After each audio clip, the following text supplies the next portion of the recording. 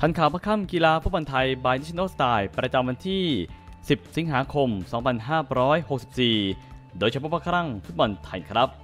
เรามาดูข่าวฟุตบอลไทยในช่วงของเย็นวันนี้กันดีกว่าครับ ว่าจะมีข่าวอะไรน่าสนใจกันบ้างฟุตบอลไทยช่วงเย็นของวันนี้ 20-36 พียองรัมกำลังจะเป็นนักเตะไทยคนแรกที่คว้าแชมป์เคลีกเกาหลีใต้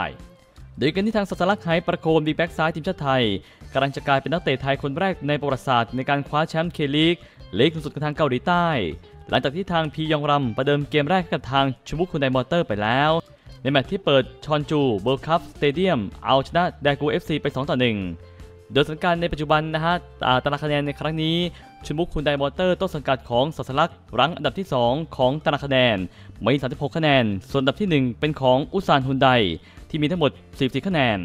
แต่ทางชมุกคุณไดมอเตอร์แข่งไปทั้งหมด 20 นัด ซึ่งน้อยกว่าอุซานที่แข่งไปแล้วถึง 23 นัด อยู่ถึง 3 แมตช์กันเลยทีเดียว ซึ่งหมายความว่าเกมนัดต่อไปที่ทางสัสลักษ์ไหประโคนเตรียมที่จะลุ้นลงสนามกันอีกครั้ง ในวันที่ 11 สิงหาคมนี้ ซึ่งจะพบกับทางกวางจู FC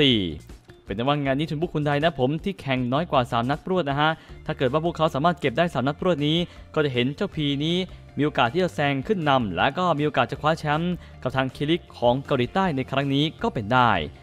เพราะฉะนั้นฝากไปให้กำลังใจเจ้าพีสัตลักษณ์ไหประโคนคนนี้กันด้วยครับเรามาดูข่าวต่อมากันดีกว่าครับทีรทรกลับมาแล้ว มารินอสสะดุดชิมิสึตามเจ้าหยุดสถิติชนะพรวดโดยทางยูโกฮาม่าเอฟมารินอสสะดุดต้องหยุดสถิติชนะพรวดไปที่ 7 นัด หลังโดนชิมิสึตามแบ่งแต้มสุดมันไป 2 ต่อ 2 ยังรั้งรองจ่าฝูง โดยเกมนี้อุ้มธีราทร บุญมาทัน กลับมาออกสตาร์ทเป็นตัวจริงนัดแรกในรอบ 6 เกม และก็มีส่วนร่วมกับประตูที่ทีมทำได้ในศึกเจลีกเมื่อวันที่ 9 สิงหาคมที่ผ่านมา โดยศึกฟุตบอลเมจิยาสุดะเจลีกวันในรายการ 2021 นะฮะนัดที่ 23 ประจำวันจันทร์ที่ 9 สิงหาคมที่ผ่านมา ที่สนาม IAI Stadium ระหว่างทางชิมิสึเอสพัลส์ทีมอันดับที่ 14 ของตารางคะแนน ที่มีทั้งหมด 23 แต้มจากทั้งหมด 22 นัด เปิดบ้านรับมือรองจ่าฝูงโยโกฮาม่าเอฟมารินอสต้นสังกัดของอุ้มธีราทรบุญมาทัน ที่มี49แต้มจากทั้งหมด 21 นัด โดยโยโกฮาม่าเอฟมารินอสของกุนซือเควินมัสแคตเกมนี้ส่งธีราทรลงจนได้นะฮะ แบ็กซ้ายทีมชาติไทยกลับมาออกสตาร์ทเป็นตัวจริงกันอีกครั้ง ขณะที่แนวรุกวางมาร์กอสจูเนียร์เทรุฮิโตะนากากาวะและก็เลโอเซอาราล่าตาข่าย โดยการนี้ครึ่งแรกเริ่มเกมมาได้เพียงแค่4นาทีเท่านั้น กลายเป็นชิมิสึที่ขึ้นนำก่อนอย่างรวดเร็ว เมื่อทางยูตะทากิ เปิดฟรีคิกมาที่เสาไกลให้กับทางติอาโก้ซานตาน่าโหม่งชงมาให้กับทางเออิชิคาตายามะชาร์จจ่อหน้าปากประตูเข้าไปแบบไม่เหลือ หลังจากนั้นมารินอสเกือบตามตีเสมอทันควันนะฮะนาทีที่ 6 นะผมจากจังหวะที่ทาคุยะคิดะตามซ้ำด้วยขวาหน้าเขตโทษเมื่อทางชูอิชิกอนดะยังพุ่งเซฟออกหลังไปได้ โดยมารินอสโถมบุกเข้าใส่อยู่ฝ่ายเดียว หวิดตามตีเสมออีกครั้ง นาทีที่ 18 เมื่อทางเอลแบร์แตะหลบเรียว โอคุอิ หลุดซัดด้วยขวา ในเขตโทษ บอลเฉียวเสา ออกหลังไปได้แค่นิดเดียว จนกระทั่งนาที39นะผมมารินอสตามตีเสมอสำเร็จ1ต่อ1บอลเริ่มจากทางธีราทรบุญมาทัน ที่ครอสบอลเข้าเขตโทษ ให้กับทางเทรุฮิโตะนากากาวะก่อนจะถวายพานมาให้กับทางมาร์กอสจูเนียร์ ตามชาร์จจ่อ เข้าประตูไป และก็จบครึ่งแรกไปด้วยสกอร์นี้ มาต่อกันที่ครึ่งหลังเล่นมาได้เพียงแค่2นาที มารินอสได้พลิกประตูขึ้นนำเป็น 2 ต่อ1จากจังหวะที่เอลแบร์นี้เก็บตกวิ่งมาซัดเฟรดด้วยมุมขวา แคปบอลติดไซด์ก้อยพุ่งเสียบเสาไกลเข้าไปอย่างเหนือชั้น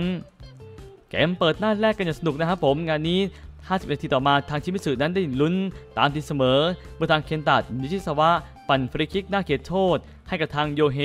ทากาโอกะ ต้องออกแรงพุ่งปัดออกหลังไป อย่างไรก็ตามทางชิมิสึเอสพัลส์ที่บุกมาใส่มากยิ่งขึ้น ตามตีเสมอจนได้เป็น 2 ต่อ 2 นาทีที่ 60 เมื่อทางยูสเกะโกโตะกระชากมาถึงสุดเส้นหลัง และเปิดเข้าเขตโทษให้กับทางเคนตะ นิชิซาวะขึ้นโหม่งเน้นๆ ส่งบอลตุงตาข่ายโดยมารินอสสวนกลับมาทันควันเกือบขึ้นนำอีกแล้ว เมื่อทางริวตะโคอิเกะซัดหน้าเขตโทษ บอลไปแฉลบบล็อกแนวรับชิมิสึบอลพุ่งไปชนเสากระดอนออกหลังออกมาอย่างน่าเสียดาย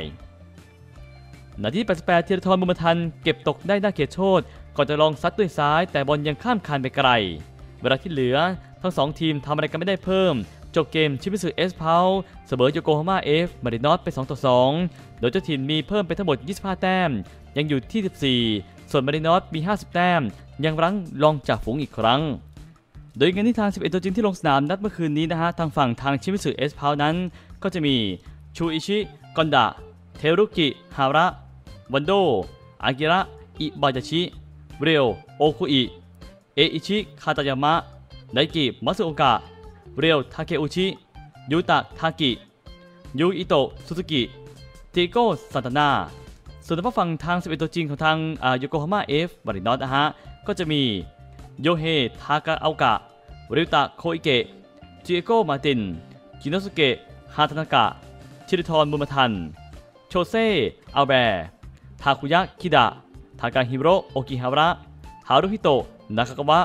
เลโอ เซอารา และก็มาร์กอสจูเนียร์นั่นเองครับนะผมเป็นว่างานนี้นะฮะ ต้องรอดูกันต่อไปก็แล้วกันว่าจะเป็นเช่นไร งานนี้พลาดท่าเสียดายจริงๆ น่าจะได้ 3 แต้มเต็มนะชิริทรบุญมาทัน แล้วมาดูข่าวต่อมากันดีกว่าครับเชียงใหม่ยูเต็ดสุดคึก โบลี ปรับตัวได้ดีอาจจะเห็นภาพอาชีดเงิน หลังจบเกม ดยช้างเผือกเชียงใหม่ยูไนเต็ดนั้นน้องใหม่ศึกไทยลีก 2021 นะฮะ ที่เตรียมทีมสำหรับการแข่งขัน บนลีกสูงสุด ครั้งแรกของสโมสร โดยทีมงานฟุตบอล สอบถามไปยังโค้ชจับ สุรชัย จิระศิริโชตประธานเทคนิคเชียงใหม่ ถึงการเตรียมทีมในช่วงโค้งสุดท้าย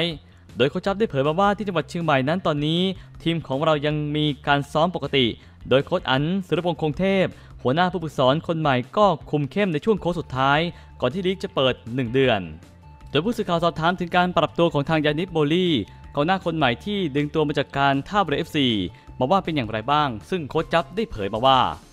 ยานิกโบลี่นั้นเขาปรับตัวเข้ากับระบบทีมไทยได้เป็นอย่างดี เช่นเดียวกับสภาพร่างกายที่ดีขึ้นเรื่อยๆนะ และเราคิดว่าเขาน่าจะเป็นนักเตะตัวความหวังของเรา ในการจบสกอร์ที่ดีแน่นอน อย่างที่ทราบอยู่แล้วเรานั้นเล่นไทยลีกเป็นครั้งนี้เป็นครั้งแรกของประวัติศาสตร์สโมสร ไม่มีเกมไหนง่ายเลย และทุกเกมนั้นเราจะต้องเจอเกมที่ใหญ่ทั้งหมด ซึ่งเราจะพยายามทำผลงานออกมาให้ดีที่สุด เพื่อแฟนบอลของเรา ผู้สื่อข่าวสอบถามต่อไปว่าการขึ้นไทยลีกครั้งแรกของเชียงใหม่ยูเต็ดนั้น จะยังคงได้เห็นภาพการอาชีดเงินสดหลังจบเกมของทางผู้บริหารอีกหรือไม่ เหมือนที่เคยเห็นภาพประทับใจในศึกไทยลีก 2 ซึ่งโค้ชจับคนนี้ก็ได้เผยมาว่า เรื่องอาชีพนั้นคงเป็นเป้าหมายของทางผู้บริหาร ที่จะต้องตอบเรื่องนี้ครับ คิดว่าผู้ใหญ่ท่านนั้นคงจะมีรูปแบบอยู่แล้ว และพวกเรานั้นจะทำผลงาน ในทุกๆนัดออกมาให้ดีที่สุดอย่างแน่นอน โดยโปรแกรมนัดเปิดสนามไทยลีก 2021 นี้ ของทางทีมเชียงใหม่ยูไนเต็ดเตรียมเปิดบ้านรับมือทรูแบงคอกเดือนที่ 3ถึงวันที่ 5 กันยายนนี้ โดยวันและเวลาสนามแข่งขัน รอยืนยันจากทางสบคกันอีกครั้ง เป็นว่างานนี้ต้องรอลุ้นกันต่อไปนะครับว่าจะเป็นเช่นไร เรามาดูข่าวต่อมากันดีกว่าครับ เผย ปาตินโยเกือบแขวนสตัดก่อนดิวซบการท่าเรือจะบรรลุผล โดยกลายเป็นแข้งแรกที่ย้ายเข้าสู่สโมสรการท่าเรือ FC ทีมชั้นนำในศึกฟุตบอลไทยลีก ในยุคของดุสิตเฉลิมแสนสำหรับกองหน้าชาวฟิลิปปินส์อย่างทางฮาเวียปาตินโยที่กำลังกักตัวอยู่ที่ภูเก็ตแซนด์บ็อกซ์ในจังหวัดภูเก็ตณเวลานี้ซึ่งก่อนที่ดีลดังกล่าวจะบรรลุผลนั้น ทีมงานข่าวได้รับรายงานมาว่ากองหน้าตัวเป้าวัย 33 ปีรายนี้ เกือบตัดสินใจแขวนสตั๊ดไปแล้ว เนื่องจากก่อนหน้านี้เจ้าตัวกลับไปบ้านเกิดที่ประเทศสเปน และตกลงกับทางการท่าเรือเอฟซีเป็นที่เรียบร้อย ในช่วงเดียวกับที่มีดีลของฟิลิปโรลเลอร์ที่ย้ายจากทางราชบุรี FC มาอยู่กับทางการท่าเรือ FC ในช่วงก่อนหน้านี้ แต่ถ้าว่าการดำเนินการทางด้านเอกสาร และก็ Work Permit หรือใบอนุญาตทำงานของทางฮาเวียปาตินโยไม่เป็นไปตามเวลาที่คาดการณ์เอาไว้ เนื่องจากปัญหาการแพร่ระบาดของโรคโควิด -19 ในประเทศไทย ที่ทวีความรุนแรงอย่างหนักตั้งแต่ช่วงเมื่อเดือนพฤษภาคมที่ผ่านมา ซึ่งทำให้เจ้าตัวนั้นยังไม่สามารถทำงานในประเทศไทยได้ และจำเป็นจะต้องเคลียร์ปัญหาดังกล่าว ให้เสร็จสิ้นก่อนที่จะปิดตลาดนักเตะแต่ท้ายที่สุดแล้วปัญหาดังกล่าวนั้นก็จบลงได้ด้วยดี หลังจากที่มีการทำเรื่องเอกสารต่างๆ เสร็จสิ้นเป็นที่เรียบร้อย และเจ้าตัวนั้นก็เดินทางจากประเทศสเปน มาที่เมืองไทยเป็นที่เรียบร้อยแล้ว โดยอยู่ในระหว่างการกักตัวในภูเก็ตแซนด์บ็อกซ์ทั้งนี้ฮาเวียปาตินโยก็ย้ายมาอยู่กับทางไทยลีก ตั้งแต่เมื่อปี 2013 ก่อนจะคว้าแชมป์ไทยลีกได้ 3 สมัย กับทางบุรีรัมย์ในปี 2013 2014 และ 2018 ก่อนจะย้ายมาอยู่กับทางราชบุรี FC เมื่อปี 2019 และยิงไปทั้งหมด 12 ประตู จากทั้งหมด 39 เกม ที่ได้ลงสนามในสีเสื้อของทางราชามังกรในครั้งนี้อ่านผมนี่นะฮะก็เป็นหนึ่งเดียวที่เกิดขึ้นแล้วของทางการท่าเรือ FC ในครั้งนี้ และนี่ก็เป็นทันข่าวบัคค่ำกีฬาฟุตบอลไทยบายดิชโนสไตล์ประจำวันที่ 10 สิงหาคม 2564 โดยเฉพาะครั้งฟุตบอลไทยครับ